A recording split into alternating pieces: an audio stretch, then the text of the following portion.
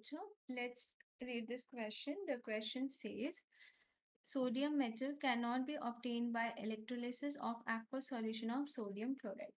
So in electrolysis of sodium chloride, so Na plus should go to Na and Cl minus should, re uh, should reduce to Cl2. Okay. But here the issue is that you are using aqueous solution. So in aqueous solution that means you also have water.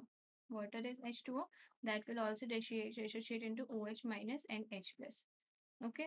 So H plus will give you H2 simply at cathode. Okay.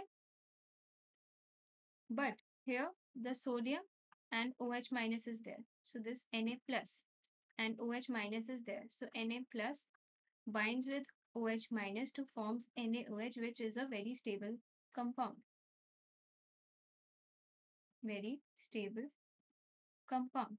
So here the key concept is the formation of formation of stable compound. So because you are using aqueous solution, aqueous solution always have water and water will always show electrolysis and dissociate because when you apply electricity on H2, it always dissociates into OH minus and H plus. H plus can easily reduce to form H2 but the OH minus have higher uh, higher oxidation potential so it will not it will not oxidize rather it will form the compound with NaOH to give react with Na to form NaOH which is a stable complex.